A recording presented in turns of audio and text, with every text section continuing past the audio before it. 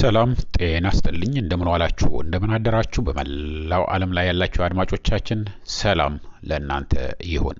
ከሰላም በላይ ምንም ነገር የለምና ሰላም እንመኝላችኋለን። ይህ ማይክሮፎን ሚዲያ ነው። ለማይክሮፎን ሚዲያ አዳዲስ የሆናችሁ ደግሞ እንኳን ደህና መጣችሁ እያልን የሁል ጊዜ አድማጮች የቤተሰባችን አካል ሆናችሁ እንድትቀጥሉ እንጠይቃችኋለን።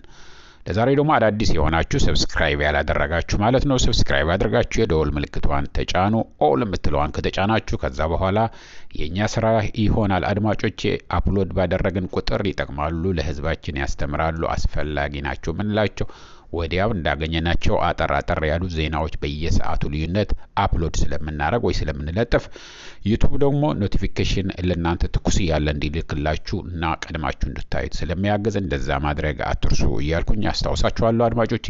ይህንን ካልኩ ዘንዳ አስደንጋጭ ዜና፣ በጣም አስደንጋጭ ዜና አሁን ከሂውማን ራይትስ ዋች የተሰጠ መግለጫ አለ። እሱን አብረን እናዳምጠው አድማጮቼ። እስከ መጨረሻ ድረስ አዳምጡት። የሰማኸው ነገር ለመደገፍም ለመቃወምም የሚጠቅመው ሙሉውን ስትሰማ ነው። ግማሹን ሰምተህ አርዕስቱን አይተህ የሆነ ሰው ሲያወራ ሰምተህ መድገም ጥሩ አይደለም። ይሄ ሙሉ information ኑ ይዘንላችሁ መጥተናል። አዳምጡት። ለሚቀጥሉት አምስት ስድስት ደቂቃ ከኛ ጋር ከቆያችሁ ሙሉውን information ታገኛላችሁ። ከዛ በኋላ መደገፍም መቃወምም ማመንም መቀበልም አለመቀበልም ትችላላችሁ አድማጮች እያልኩኝ ወደ ሪፖርቱ አብረን እናዳምጠው። ከሰላም ስምምነቱ በኋላ በምዕራብ ትግራይ የዘር ማጽዳት እየተካሄደ ነው አለ ሂውማን ራይትስ ዎች። አድማጮቼ ዓለም አቀፍ የሰብአዊ መብት ተሟጋች ሂውማን ራይትስ ዎች የሰሜን ኢትዮጵያ ጦርነት ለማስቆም የሰላም ስምምነት ከተፈረመ በኋላ በምዕራብ ትግራይ ወይም ወልቃይት በተለምዶ የምንለው የዘር ማጽዳት ወንጀል እየተፈጸመ ነው አለ። የሰብአዊ መብት ተሟጋች የፌዴራሉ መንግስትና ህወሀት በሰሜን ኢትዮጵያ ሲካሄድ የቆየውን የእርስ በርስ ጦርነት ለማስቆም ጥቅምት 23 2015 ዓ ም የሰላም ስምምነት ከፈረመ በኋላ የአማራ ኃይሎች ከአካባቢው አስተዳደር ጋር በመተባበር የትግራይ ተወላጆች በኃይል ከምዕራብ ትግራይ እያፈናቀሉ እንዲፈናቀሉ እያደረጉ ነው ብለዋል ሂውማን ራይትስ ዎች። አድማጮች ጨርሰን እንየው።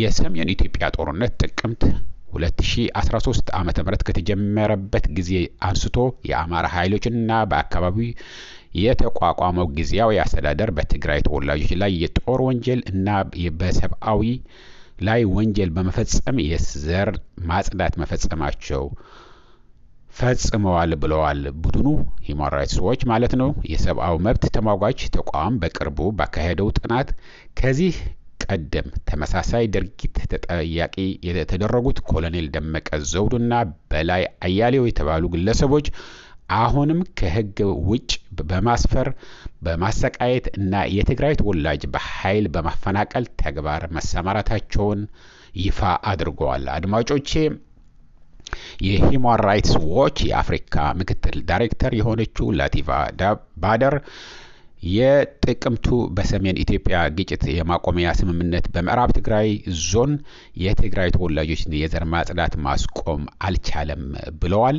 ምክትል ዳይሬክተሯ የኢትዮጵያ መንግስት ለተጎጂዎች ፍትህ የመስጠት እውነተኛ ቁርጠኝነት ካለው ጥቃት አድራሾቹን አስቁሞ ገለልተኛ መርማሪ ቡድን በአካባቢው ምርመራ እንዲያደርግ ከልክላውን ማቆም ክልከላውን ማቆም አለበት ብለዋል ምክትል ዳይሬክተሯ። አድማጮቼ ሂውማን ራይትስ ዎች ለዚህ ምርመራ ከመስከረም 2015 ዓ ም እስከ ሚያዝያ 2015 ባሉት ወራት 35 የአይን እማኞች፣ ተጎጂዎች እና የእርዳታ ሰጪ ድርጅት ሰራተኞች ጨምሮ 35 ሰዎችን በስልክ አነጋግሬ ያለሁ ይላል።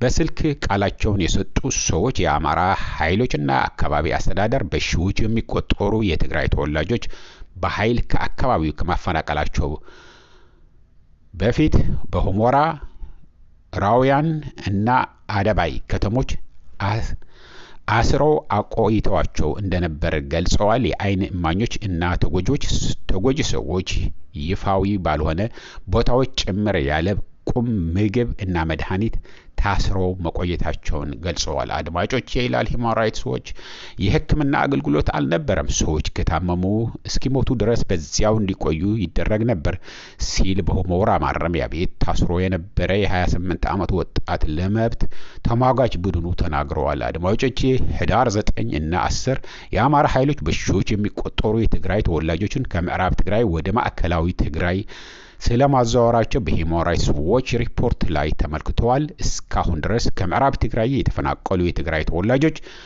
አሃዝ በትክክል ማወቅ ባይቻልም እስከ ጥቅምት 2015 ዓ ም ድረስ የተባበሩት መንግስታት በብዛት ከምዕራብ ትግራይ ከተፈናቀሉት አብዛኛዎቹ 45 ሺህ ስደተኞች መዝግበዋል። አድማጮቼ በእርስ በአማራ ኃይሎች ታስረው የነበሩ እና ከእስር ያመለጡ የአይን እማኞች ቃላቸውን ለሰብአዊ መብት ተሟጓቹ ሲሰጡ ሰኔ ወር ላይ በሆሞራ ማረሚያ ቤት ታስረው የነበሩ ቢያንስ ስድስት እስረኞች ተገድለዋል ብለዋል ይላል ሂውማን ራይትስ ዎች። አንድ የአይን እማኝ እስረኛ ከሆሞራ ማረሚያ ቤት ካመለጡ በኋላ አንድ እስረኛ የተገደለበትን ሁኔታ ለሂውማን ራይትስ ዎች ተናግረዋል። ሰኔ ወር አጋማሽ ላይ የጣለውን ከፍተኛ ዝናብ ተገን በማድረግ 16 እስረኞችን ማምለጣቸውን ተከትሎ የአማራ ልዩ ኃይል አባላት እና ፋኖ ታጣቂዎች ሊያመልጥ ይችላሉ ብለው የገመቱትን ባምቢኒ ተብሎ በቅጽል ስሙ የሚታወቀውን እስረኛ ለሌሎች ማስተማሪያ በሚል ገድለው እስካሬኑን ለእስረኞች ማሳየታቸውን የአይን እማኞችን ተናግረው ብለዋል። አድማጮቼ በእኔ በሌላ አጋጣሚ በሁመራ ማረሚያ ቤት ታስሮ የነበሩ የሰባ ዓመት አዛውንት የሆኑት ካልአዩ ስዩም የተባሉ የቀድሞ መምህርና ሰዓረ በሪሁ የተባለ ሌላ የሃይማኖት መሪ በድብደባ መገደላቸውን ተነግረዋል። አድማጮቼ በጣም ያሳዝናል። ሂውማን ራይትስ ዎች የኢትዮጵያ መንግስት በዚህ ወንጀል ተጠያቂ የሚሆን የሚሆኑትን የጸጥታ ኃይሎችና ባለስልጣናት ከስራ በማስወገድ ምርመራ አድርጎ እንደ አግባቡ በህግ ተጠያቂ እንዲያደርግ ጠይቀዋል። ሂውማን ራይትስ ዎች ቡድኑ በዚህ አደገኛ የመብት ጥሰት ተጠያቂ የሚያደርጉትን ኮሎኔል ደመቀ ዘውዱና ኮሎኔል ደጀኔ ማሬ እና በላይ አያሌው የተባሉ ግለሰቦች ላይ ምርመራ እንዲደረግ ጠይቀዋል። በስም ጠቅሶ እንግዲህ አድማጮቼ ልድገምላችሁ። ስማቸው ደመቀ ዘውዱ ምክትል አስተዳዳሪው ተደርጎ በአማራ ክልል የተሸማው ነው።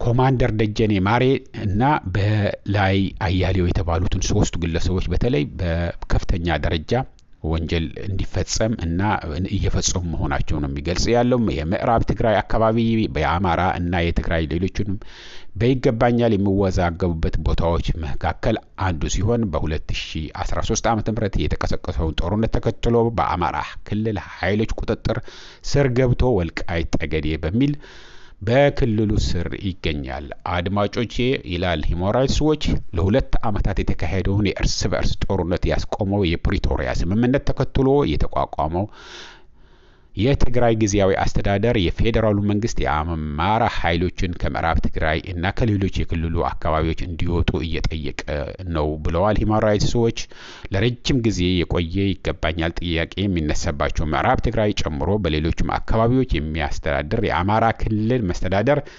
ጥያቄውን ህጋዊ መፍትሄ እንዲሰጠው ሲጠይቅ ቆይተዋል። የፌዴራል መንግስት የወሰ መንግስቱም የወሰን ይገባኛል ጥያቄዎች በህገ መንግስት መሰረት ምላሽ እንደሚያገኝ እንደሚያደርግ በተለያዩ ጊዜያት ጠቁመዋል። አድማጮቼ እንግዲህ ይህንን የኛ አይደለም ሙሉውን ቃል በቃል የሂውማን ራይትስ ዎች ሂውማን ራይትስ ዎች በዓለማችን ትልቅ ከሚባሉ የሰብአዊ መብት ተጠባቂ ድርጅቶች አንዱ ነውና በጣም የሚያሳዝን ነው። ከስምምነቱ በኋላም አሁን ethnic cleansing ወይ ደግሞ